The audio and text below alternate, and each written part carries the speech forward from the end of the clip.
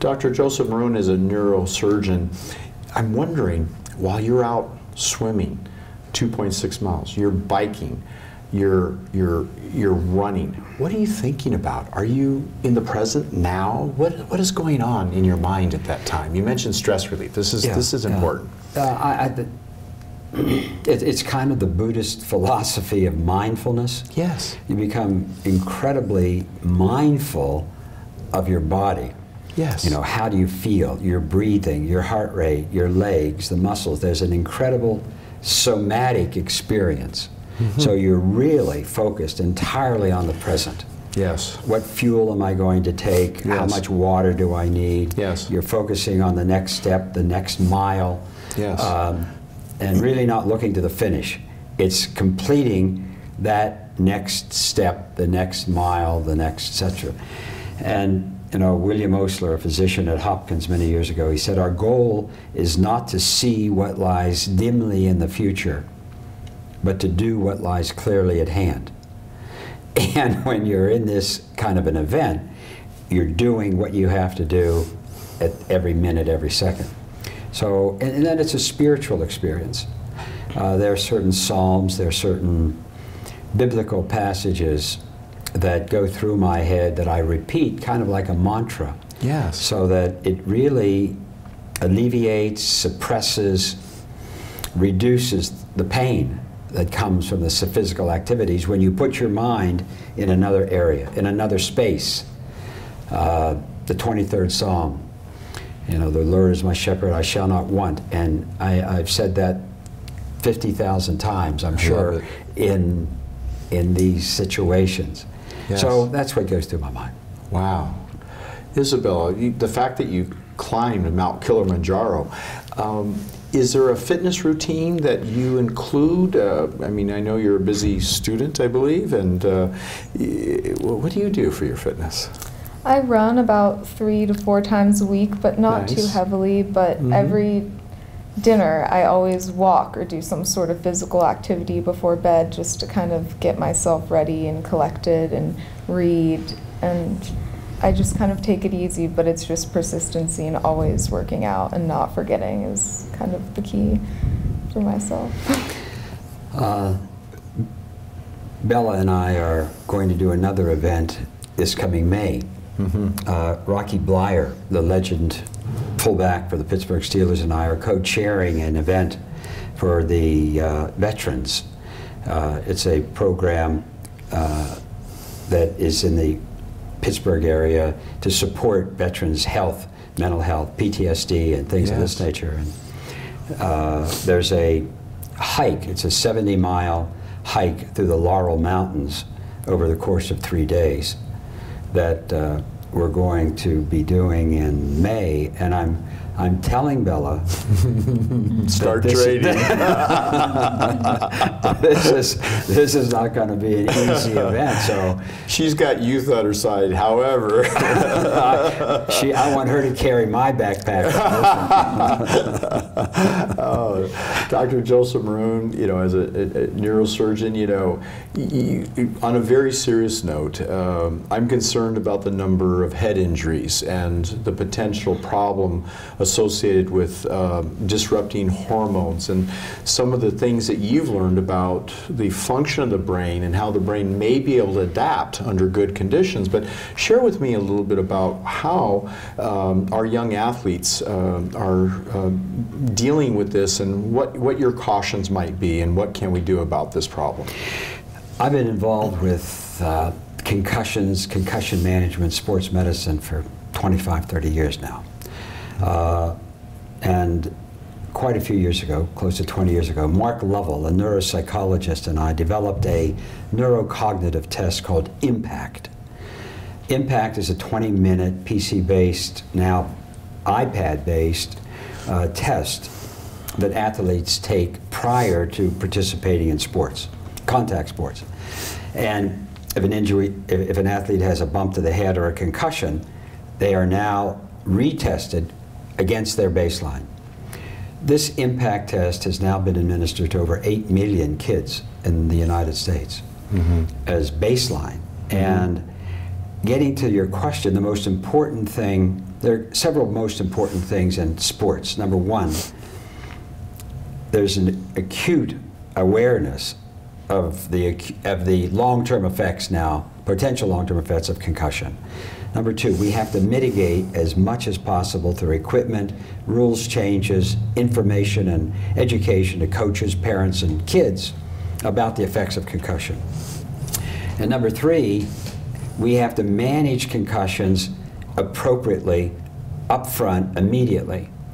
The problem in the past is when an, an athlete would have a concussion, if they go back into the arena prior to the brain healing itself, then the microglia in the brain, which are kind of like the white cells, if you get a splinter under your fingernail, you get red hot, tender, and swollen. Mm -hmm. In the brain, your brain gets red hot, tender, and swollen too when you get impacted by a blow.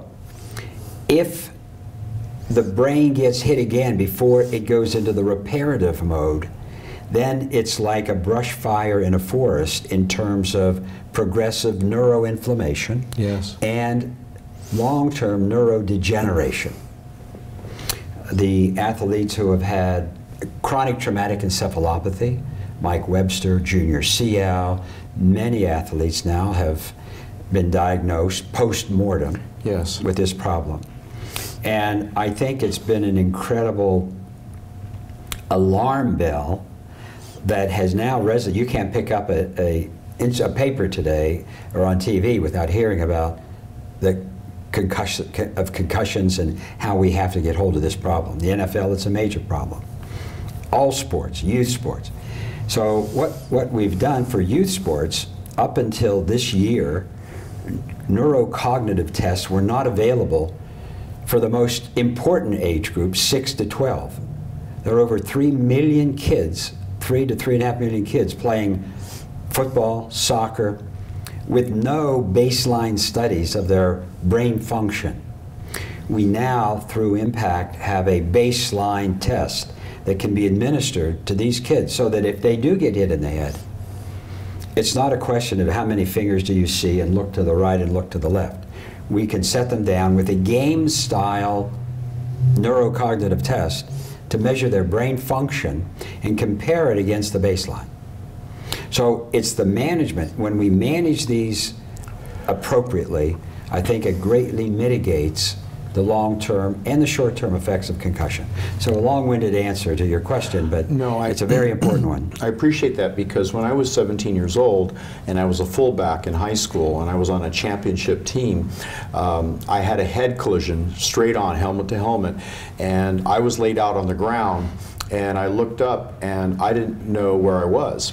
And the coach came up and did exactly that. How many fingers do you see? And I could, I could tell him how many fingers, and he did the, the eye test. And then he looked at me and he said, um, uh, you know, who are you and, you know, what did you do yesterday? And I looked at him and I said, well, I, I think I know who I am, but I, I don't know what I did yesterday. And I just stared at him. And he said, uh, okay, well, pack up and go home. And I went home. And I was so disoriented. I, I was like, you know, not knowing what to do. Um, I, I, I, felt guilty because I was a young man and you know wanted to be part of the championship team, and I thought I let my team down. You know, I, I was gone. You know, uh, and I didn't know if I should come back the next day or not. No one guided me about it, uh, and of course I, I recovered. I think.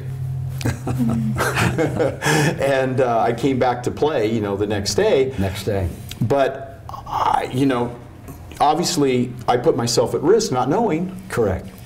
And well, Nick, I, I, think you're bringing, what you describe is what happens to between one and a half to three million kids a year in this country. Yeah. The same thing. You had retrograde amnesia, you had confusion, disorientation, yes. the hallmarks of concussion.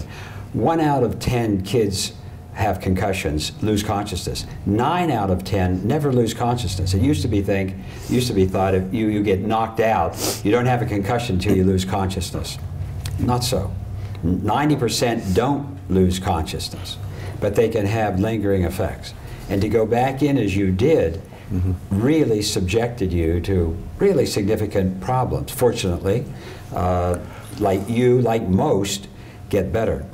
But uh, it's, it's just critical that the management be improved. At the University of Pittsburgh, we're now seeing close to 10,000 new kids a year with concussions. Mm-hmm. 10,000. We have seven neuropsychologists who do nothing but evaluate kids with concussions mm-hmm. on a daily basis. Yeah.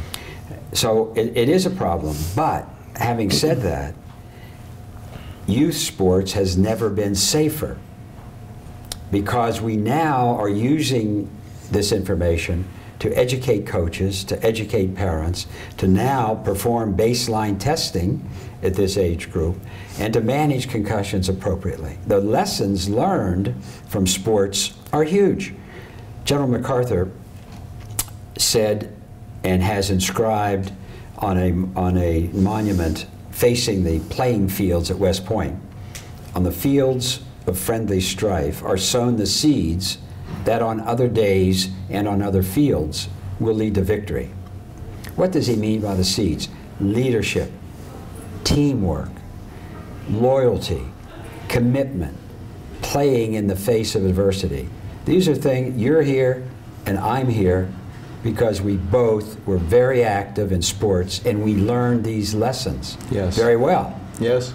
That takes us through our entire lives in other areas. So that it's so important that these sports continue, but in the safest way possible.